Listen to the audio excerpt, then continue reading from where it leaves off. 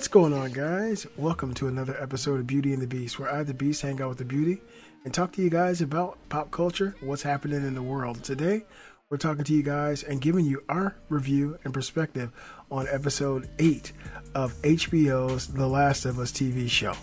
Uh, we had a lot of negative things to say last week about episode yeah. 7, and uh, I don't have nearly as many negative. Uh, you know, things to throw out there about this episode. I thought this episode was pretty well done. I think it was acted relatively well.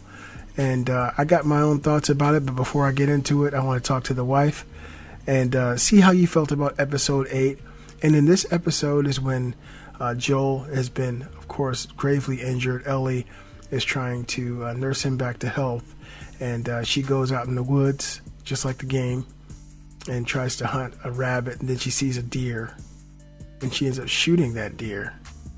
And so she goes, you know, looking for the blood trail, and uh, of course she runs into problems in the form of David, correct? Yeah.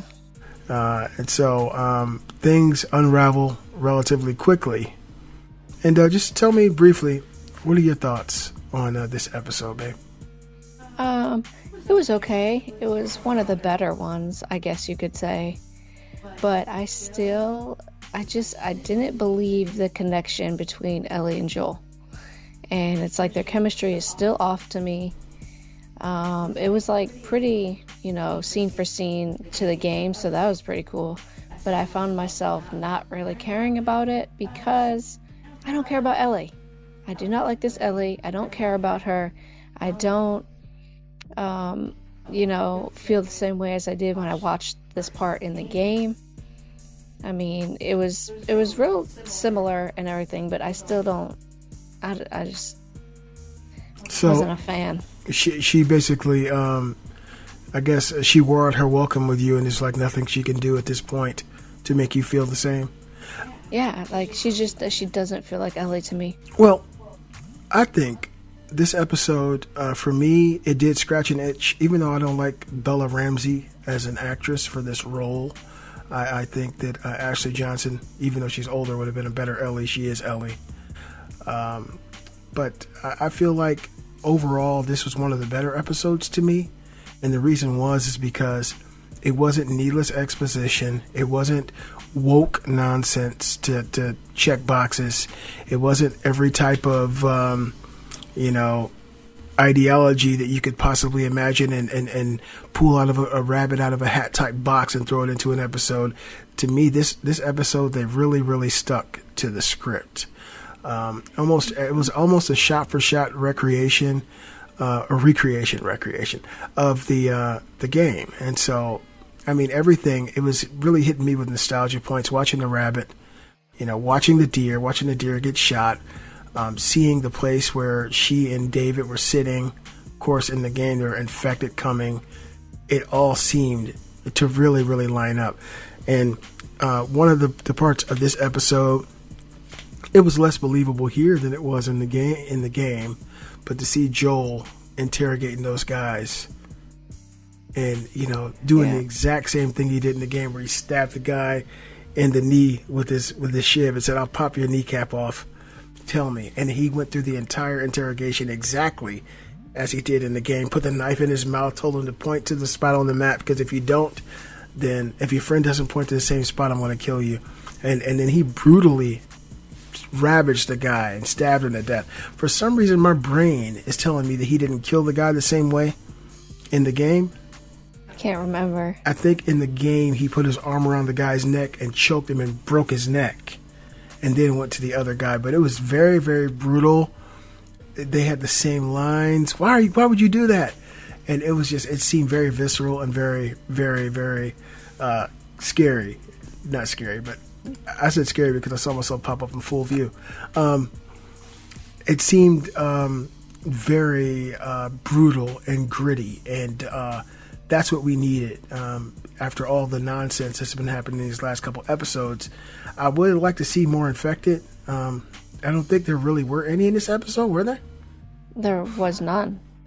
That's kind of you know a sad thing. You know, we got so much opportunity for clickers and for runners and all these different types of infected. And you seem like, you know, I think it was episode three where you saw them coming out of the ground. That was like it. Yeah. And since then, there's been like nobody. There was one guy in the Left Behind episode. It just, you know, kind of it kind of diminishes the fear factor of the game. But Yep. um, what did you think about David? And um, I'm, I'm trying to remember his his uh, henchman's name. His henchman uh, in this episode was actually pre- played by Troy Troy Baker, uh, Troy Baker, who um, voiced Joel in the game. in the game, yeah. Um, I mean, I, he played a good role. I think he did good. He acted well.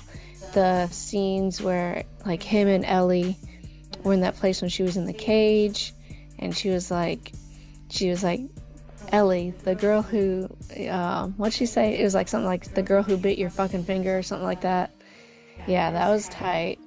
Um, and then when them, they were like in the burning building, you know, that was like the game. It was kind of like a. this is one of the better episodes because they, Yeah. they they they they really hit all these spots of nostalgia you know and it was like the game of course ellie wasn't running around you know hiding and then stab him and run hide again but um you still felt that same feeling of her hiding and him looking for her and you felt the the drama of okay it's on fire and him not caring and you knew what he was after and then they showed it in a very similar light david didn't look like he did in, in the game he, he was more of a preacher type guy and they gave him a little bit more backstory uh, how did how did you feel about his little compound, Dave's compound, um, where he uh, had these people who were like basically under his spell? They're eating, I- eating these really great TV dinners for dinner every night. I don't see that happening. I don't see like him, you know, smacking the little girl and everyone just being quiet, staring like, Please, like I would have took that place over so damn quick. I was like, hold on.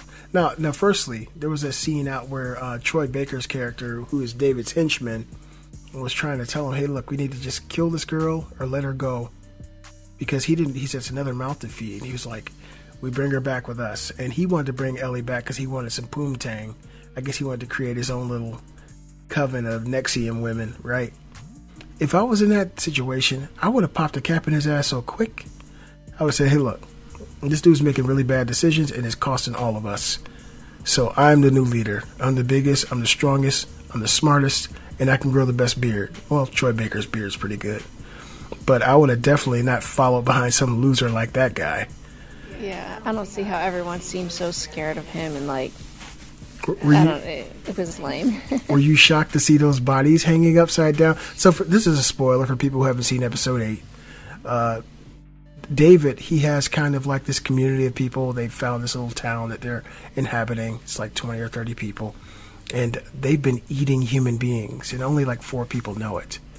And they're all starving. They got like canned peanuts and, and canned potatoes and stuff like that.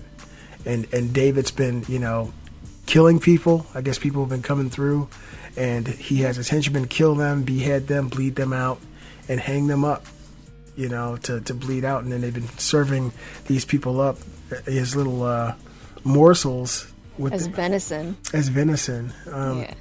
I mean, would you eat like if you were starving in that No. situation? You, if you were starving in that situation and somebody cooked a meal that looked just like, um, uh, let's Well, think. obviously, if the people didn't know what it was they were eating, but I'm sure it didn't taste like anything they've had before. But still, if I knew, like, I wouldn't go and do something like that. See, this is a, a, a lesson for you guys. I know my wife. I know everything about her. So if something happened to you and then all of a sudden they came back and they were serving this bowl of food, I'd take a bite like, that tastes just like my wife's ass. I would have known. David would have been in trouble. I would have destroyed him. Okay? It would have been a wrap. Stupid. Oh, I really liked the episode. It was much better than than the previous one to me. Um, it kind of, um, and the reason I, I've been mulling this over in my head why I liked it.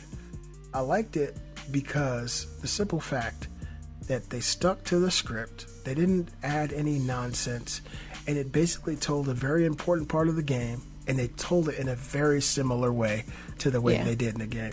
Uh, of course, Ellie ends up fighting David like she does in the game, and and she handles business the way she does in the game. And in the end, Joel uh, finds Ellie, where she's basically walking out of this town. Now, in the game, Joel and Ellie kill 20 people, 25 people. Yeah, and and in the game they had zombies when she was alone with um, David. Yeah, yeah, yeah. And I, I would have liked to see at least a little bit of that, you know, of a zombie or two, but they don't even throw those in there. Yeah, you think about all the opportunities they missed to infuse so much other garbage into this this series when it could have been so much better. Yep. Ultimately, Ellie she ends up leaving uh, and getting out of this little commune. Only two or three people knew. It was kind of crazy to see Joel in the this TV show kill Troy Baker's character. That was a pretty interesting moment for Troy Baker, who is the guy who is the voice of Joel. When I see Troy Baker, I think more about more of him being Joel than this guy who's playing Joel now. I think Troy Baker, that's Joel. That's what I think in my mind. So it was really a, a like a cool paradigm to see Troy Baker get brutally murdered. Uh, oh, in fact, wasn't Ellie the one who killed him? Yeah. Yeah, Joel killed some guy who looked like him. I thought it was Troy Baker at first. Ellie stabbed him in the neck and killed him. So just take that all back. Missed opportunity, Neil. Just like everything else you've done in this show. Uh, the last scene was one that you talked about when uh, Ellie ran outside. It was so annoying. It's like um, when she went outside, Joel came up behind her to like calm her down, but instead of saying something like, "Hey, it's okay, it's me, it's Joel, it's okay," he was just like, "Ah, uh, it's uh, and and like I was like, why? Why would you do that? What is happening? It was so stupid to me. it really made me mad. Oh, that was funny. Yeah, I, I mean, I, I, at the end of the episode, I was like, "This is great," and then she brought that up. I was like, "Yeah, that was pretty, pretty fucking stupid." yeah, it's like, why wouldn't you just say, Ellie? Uh, uh. Yeah, why didn't you say, Ellie? It's me. It's okay. It's Joel. It's okay. Come here. And like, they couldn't even get that right. It is what it is. Um, if you had to rate it, like on a A, B, C, how would you rate this episode? I don't know. was know. it better um, than the last episode, Left Behind? Yeah, yeah, it was better than the last episode. It was it was one of the better ones of the whole season, actually. We got one I left. You think they're gonna nail it, stick the landing, or you think they're gonna Munson no. this? It's gonna be a Munson Munson deal. For people who know about the movie Kingpin, you know about Munson. Um, I just I can't I can't get the feeling of Joel and Ellie being like Joel and Ellie. Yeah. It's like that uh, it's so hard and it takes me out of it and it makes he doesn't so look mad. like joel to me and he can't grow a real beard he doesn't look like joel and it looked like somebody just like super glued they took some gorilla glue and like did three dots and put some cotton on the side of his cheeks he doesn't he doesn't seem like joel and of course she just looks like down syndrome debbie i don't know what to say about her but even their chemistry, it's like uh, through the whole seasons, it's like they weren't mashing well together, and then all of a sudden, oh my gosh, my savior, give me a hug, oh I love you, baby girl, and it's like, no. yeah, he did say that, didn't he? Baby yeah. girl, baby girl. no, in the game at least they were more like you know, meshed well together, way better than this show. They were like me and you. I got, I got you. All right. Well, I guess that's we'll leave it there for this episode. We got one more to go, and a lot has to happen in this last episode. So, yeah, how are they going to fit it all in?